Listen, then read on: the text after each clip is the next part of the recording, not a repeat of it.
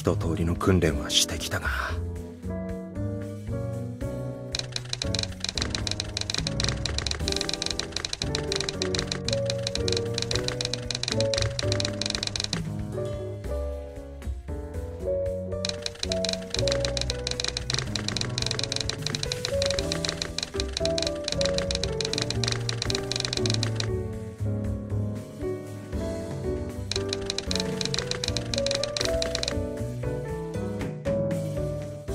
どうぞ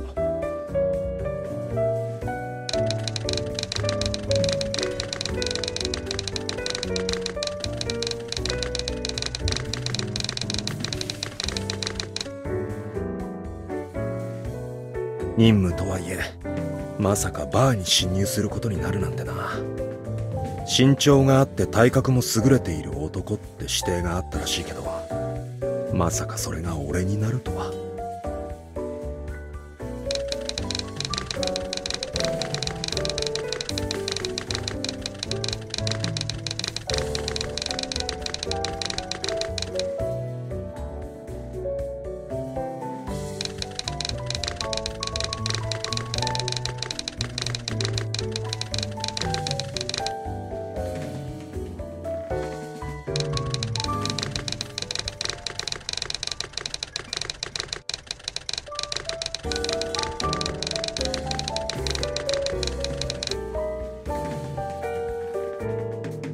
変におどおどすると逆に目立つからな。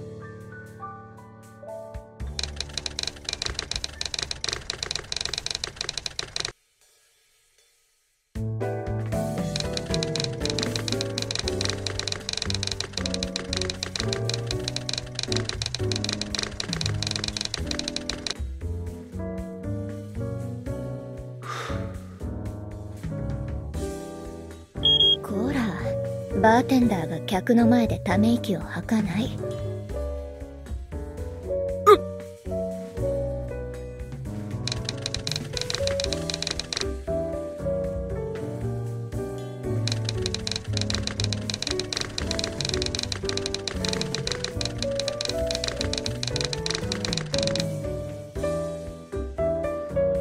せっかくバーテンダーとしての心構えから知識まで。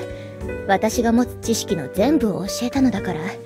ちゃんとしてくれないと困るわ。風磨くん。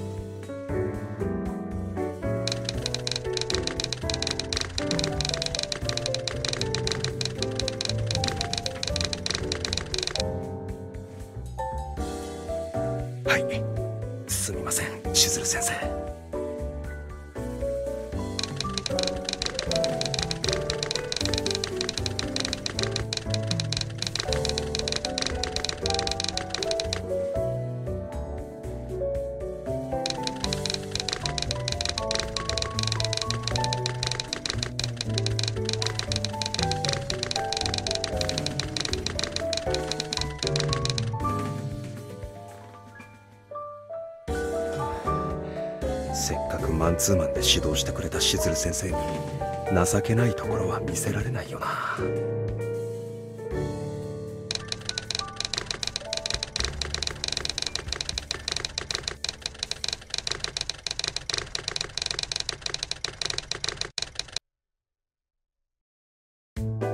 でもさっきのカクテルは上手に作っていたわよ。私が見ていた限り何の問題もなかったわ。ため息がなかったら90点は上げてもよかったかも。それでも90点ですか？ええ。やっぱり本職じゃないものね。客への気配りや意識の向け方立ち振る舞いまだちょっと硬いわ。リラックスしなさい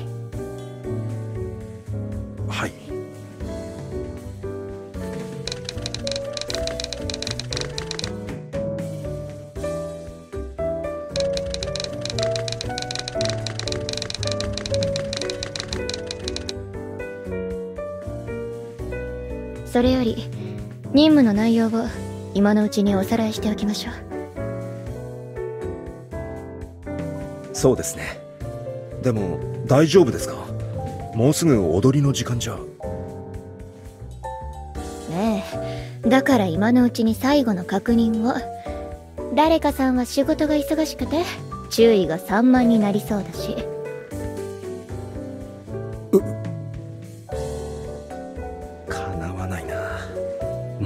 っとしっかりしないと。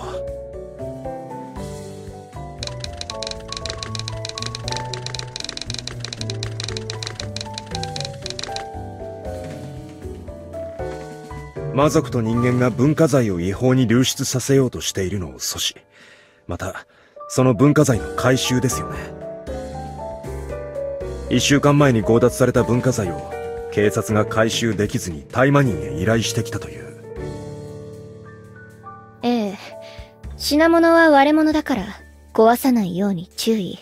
あとその人間の背後関係を調べたいから殺害は禁止ね。了解です。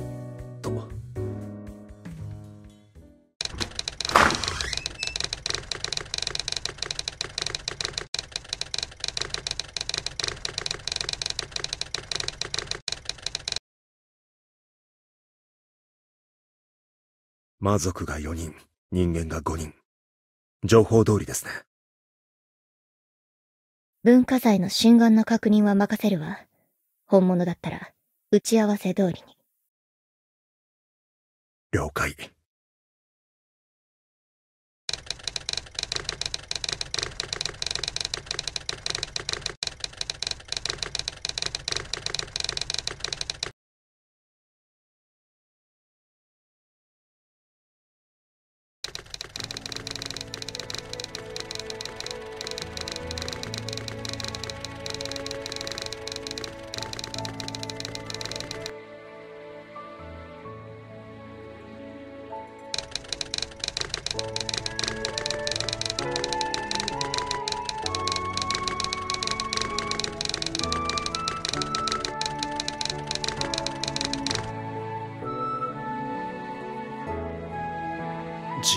一度見ていたけど。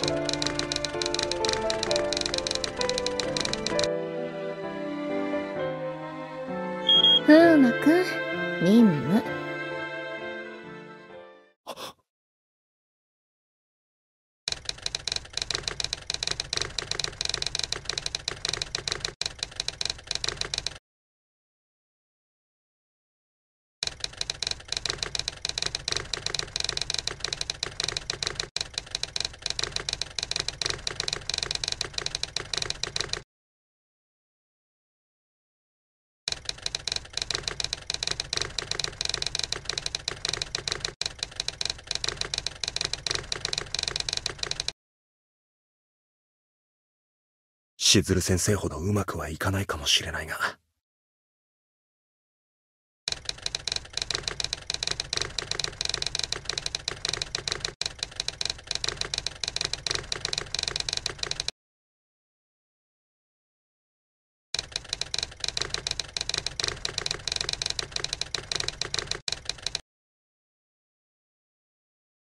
確認しました。情報にあったものと同じ。先日強奪された文化財と同一のものです。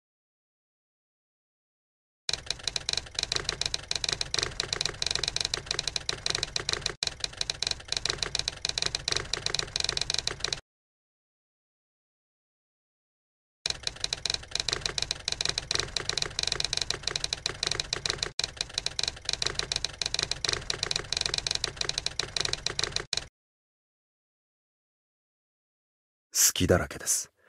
まずは防犯ブザーを鳴らして一般客を避難させます。しずる先生の忍法で対象を行動不能にした後、俺が対象の拘束をします。しずる先生は逃げる対象の制圧を。了解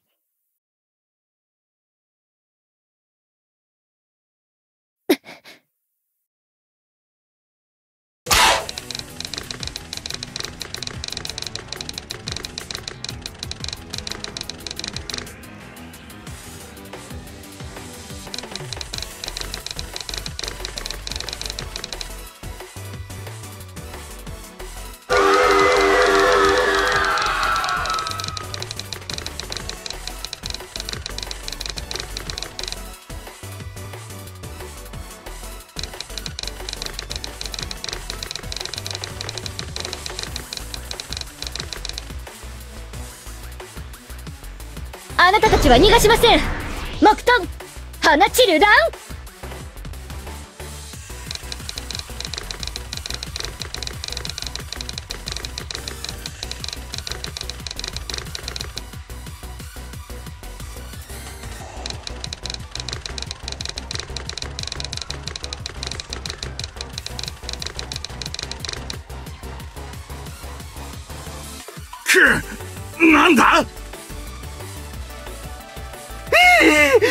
まさか警察。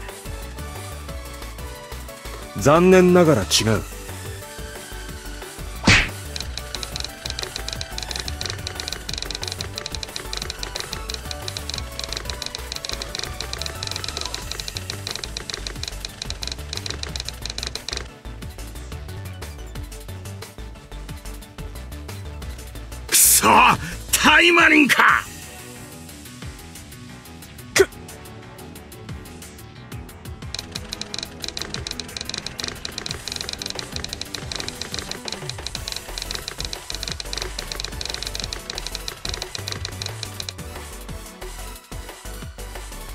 早い復帰ね。だけど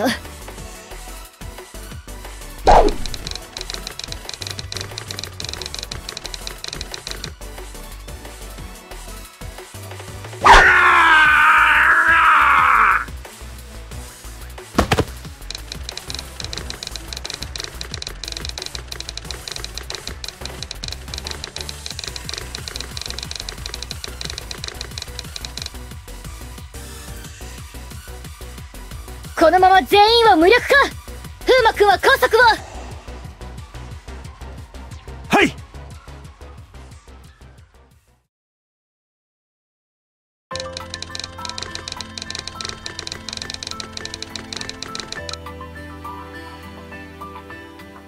これでよし。バーにいた全員が私のお香を嗅いでいたからあとはバーの中にある防犯カメラの映像を消しておけば大丈夫よ。お疲れ様風磨君お香言ってなかった？今回の任務は他人がいる店内だから記憶を混濁させるお香をまとっていると。そうすれば私たちタイマニンが関わったというのが一般人に走られないでしょ？そうでした。しずる先生さっきは危ないところを助かりました。ありがとうございます。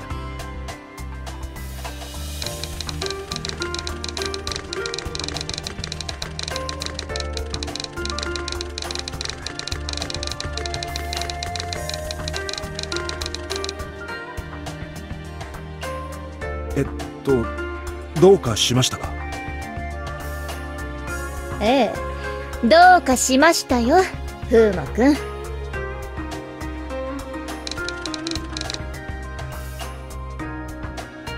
私は特務中隊の隊長として風磨君の指揮能力には一目置いてるわ。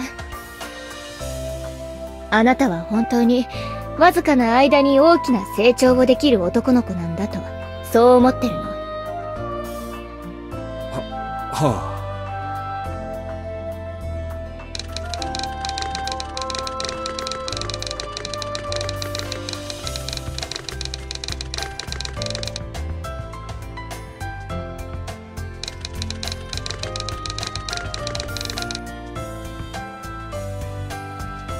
先ほど魔族の男が風磨君へ反撃しようとした時どうして私がすぐに対応できたかそれほど驚いていなかったかわかる？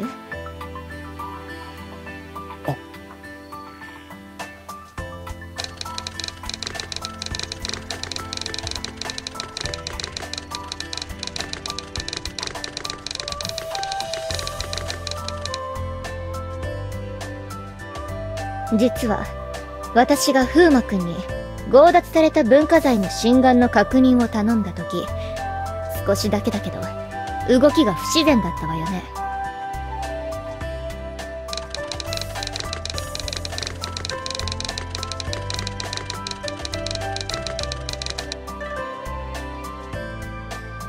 二流なら気づかない程度のけれど今の風磨君では及ばないような一流。超一流なら気づけてしまう。不自然な動きを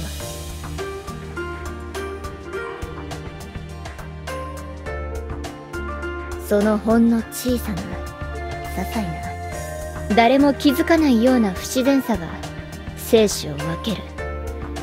それが私たちのいる世界なのよ風磨君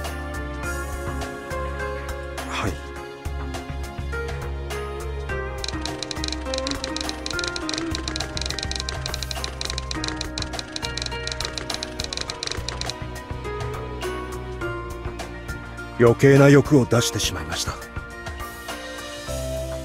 欲？しずる先生は完璧に任務をこなしているのに俺はそんなしずる先生と一緒に任務をするには未熟で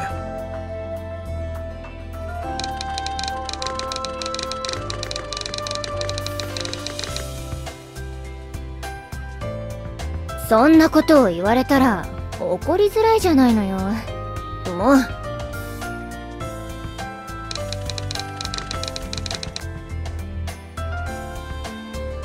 そう言うってことは自分の未熟には気づいていて向上心もあると捉えていいのね。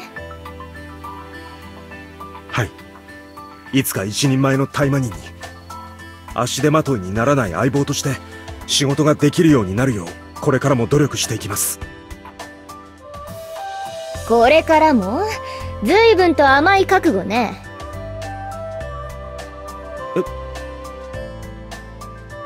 やる気があるようだしそれに風磨君に今回の任務に必要な技術を教えたのは私。その風磨君に問題があったのならつまり私の責任ってことよね。今後どんな潜入任務があったとしても完璧にこなせるよう。この男たちの引き渡しが終わったら再教育しなくちゃね。これからですか？もちろん。次の任務がいつになるかわからないんだから。当然よね。